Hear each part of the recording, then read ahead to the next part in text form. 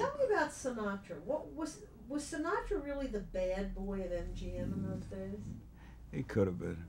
You know, he made some terrible pictures, but uh, he's frank. He was more frank than he was later on. He was tougher at that time. How And- was that? Well, he was harder to deal with. You know, he's. Can you give me an example? Well, you, are you using this on, the, on, on paper?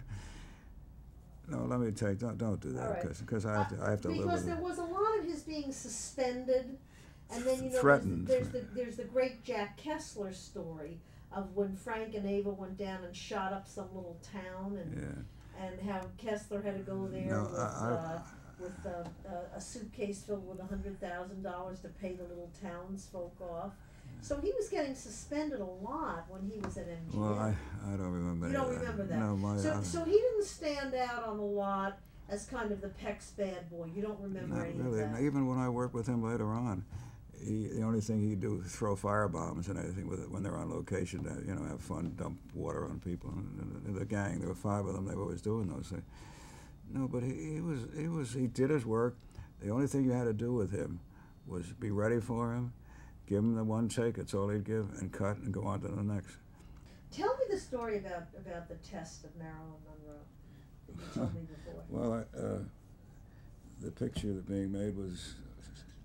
Oh, God. Anyway, I got a call from. I was up in my office. I got a call to go down to stage six and stand by. We're going to do a, a test of the clothing that uh, Marilyn, Marilyn's going to wear, and uh, just stand by and help. So I got down. She came in from another direction, she, I introduced myself to her. You know, she was a knockout, and uh, I said, "We're ready, Miss Monroe." And I, the cameras were lined up.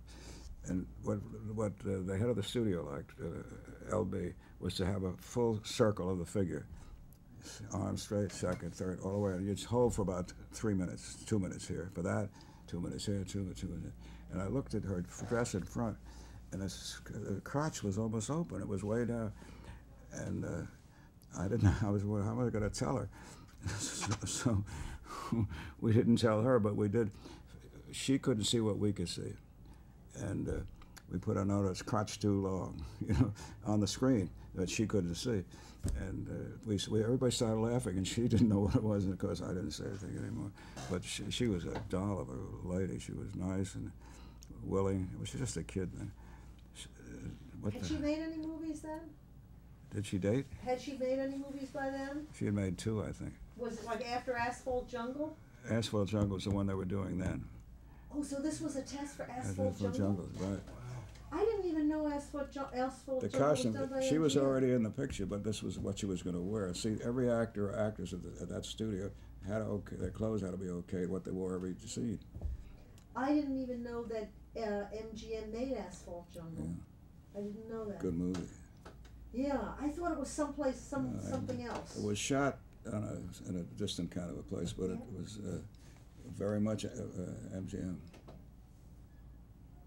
So Huston was working for L.B. Mayer in those days, huh?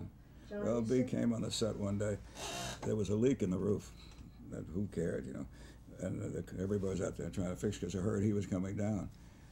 And he came down and he, he came up to me. He said, what, "What's happening?" I said, "There's a leak in the roof." And he, he, and he was looking up. And I, I felt like a giant next to him. I didn't know what to do. And I was, you know, uh, L.B. Mayer, and I'm nothing. He, said, "What do you do?" I said, "I'm a first assistant on this picture, and uh, I'm, you know, running the company." He said, oh, I never saw you before. I said, well, I haven't been here too long. And that was it. I don't know, I don't remember why he came down the stage. I think a new director was about to direct that picture, I think. And he Was, brought it- was it true that, that Elizabeth Taylor was always with her mother? well, I never saw her with her mother, but I saw the men around her. She at 17, she'd knock you dead. Purple, uh, there's nothing like her at that time of her life. Beautiful. Those, those violet eyes. Uh, yeah, Violet is right. And Tell- she's, she Tell told me me, about the water, the waterworks, Waterworks. the, the, the big uh, uh, Esther Williams things. The way. Well, you've seen on the, how the girls all line up one by one. They fall in. Well, Esther, what she she what she always wanted to make jokes with me, so she do finish at the number swimming, and she'd come close to the, the bed, and then she'd grab me and try to pull me in the water. So I, I said, no, no more, baby. I'm far away from don't you think? One day she caught me and whap, I was in the water.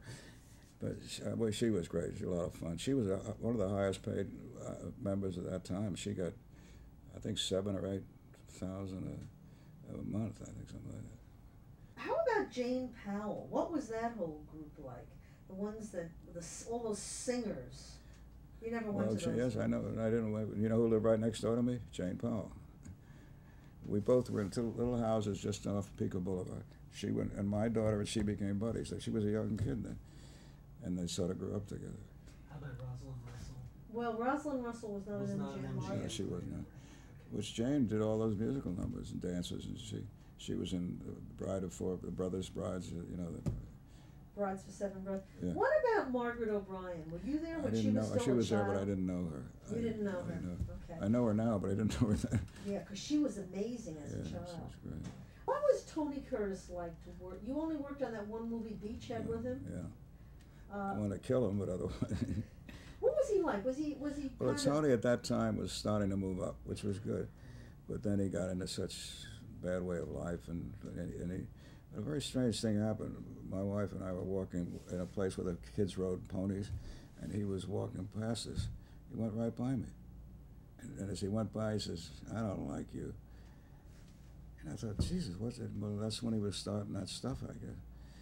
And he was balance was off, and, but he cleaned his act up the last, you know, the last seven, eight years. He, he's an artist now, and he, if you call that a good art. Well, what was he like? Was he clumsy? I mean, what was wasn't he like? clumsy. on He was uh, he was a young guy showing his muscle. You know. and he was good. He was physically good. I mean, Good, was he able to like uh, do a lot? I mean, there are probably some actors who are not that physical, not that able to do a lot of things. Well, he was physically. He was. in- He's athletic. He didn't have any problem with that. Was there anybody who wasn't? There a lot of people with two feet that would fall over their feet. Because a lot of the old time guys seem very still on the frame. Yeah. They don't do much. They just kind of stand around, Well, right? you see, well, filmmaking really is is face up here. The stories are told by the eyes, you know. So you don't stay too long on those kind of. You're really up where the story's being listening, not necessarily speaking, listening and then cut away for somebody else speaking, you know, back. And the, the, the way the thing was, the picture, the way it was set, was really the best way to see all the faces now. With the way it is now, it's a whole different game. And you know, for a while when they had this, they brought the film down, the size- down about this, and the, and so you had a, a it was hard to make a real good shot because you couldn't hold all the people in the side at the same time, and it. Uh, that's that big thing that Fox invented, and after about ten years, it became a, they've got rid of it. But cameras are different now. Everything's different than it was in those days. So, so those close-ups. In other words, that's what you're saying. That the close-ups. Close-ups tells the story. Yeah. Can you say that again? The, st- the close-ups are really to the face, face the eyes, not so much the close-up. It's the eyes. If you look, if you watch pictures, you'll see how much the eyes transmit the feelings and the story and all that stuff. That's my opinion, but somebody else might have another opinion. But you also notice that uh, they'd be on a close-up of the actress and they wouldn't necessarily go to the other one? They off-screen, they'd play a scene and play it some more and not cut around like they do now. They all cut around all the time. Or they'll come back over their head on it, not come off their face as they come back behind their head. And it, it was a different way of making films, really. I think a better way. You know, and too much, well, uh, television, cut, cut, cut, cut, bang, bang, bang. I know the makeup people are so much a part of that. Every face was made up, and believe me, it was made up. Even when they went to a premiere or anything, the studio put the clothes on them, put the shoes on them, put the chauffeur on them, take care of them. It's uh, if you take all the makeup off, all that they, walk right by you, you wouldn't know. 'em. I, I used to meet Betty Grable when I was at Fox at five o'clock in the morning for makeup. Five o'clock in the morning. I didn't know who she was when she came in. I saw this wild hair and the whole stuff, and then by the time to shoot, she was gorgeous with the makeup, and she was a terrific girl too. Well, that see, that's interesting because um, uh, Springer told me that Crawford was that way. She wouldn't even be seen outside unless she Yeah. was like completely, completely made up. I got very friendly with Crawford in later life with her. I don't know why. She was always calling me and talking to me.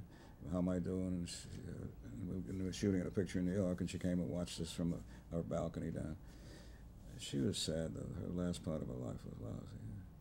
at MGM, were the directors assigned to the, to the stars because of relationships? I mean, was there like that kind of George Cukor phenomenon Well, that went they- on? well, That they, they kind of, you know, like it is now, actresses, they demand certain directors. Were they able to It wasn't that that they then? demanded, I, I think they were, were approved to do the picture as a, as a director.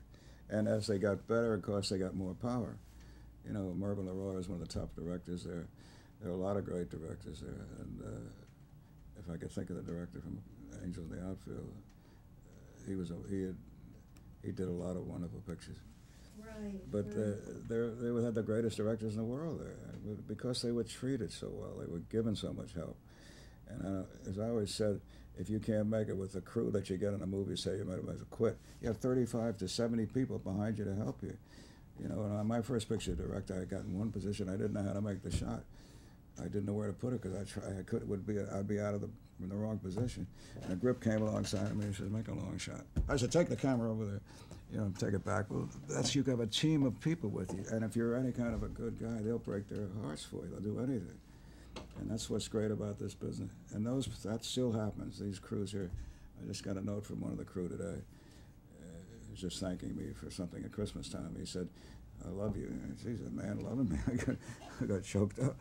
Were there, did you ever go on any of those like location pictures, like uh, in the fifties when they'd have to go to Africa and stuff? Was that hard work? No, I never went to Africa, but wherever you go, it's hard work on a location. It, seems as though in reading about it, that it wasn't all that glamorous in the Well- fifties when you go on location, No, the accommodations. Well, the. Clark Gable picture across the wide Missouri, we all lived in tents and it was on a hill like that. There was five or six of us in this one tent and up the road, and the hot water was up there. Well, by the time they got it to us, there was no hot water. Just no hot water, and you had to work. You had to be on the set. I'm the assistant director, and I'm in charge of all that. Half the time, I didn't have breakfast, lunch or dinner, or time to get a bath, and we worked a six-day thing up there in the mountains and Gable would come to. We had a, our own big table, the tent where we had our meals. We were right on the on the on the river there, and and up in uh, wherever it was. And uh, Gable's wife would come, and she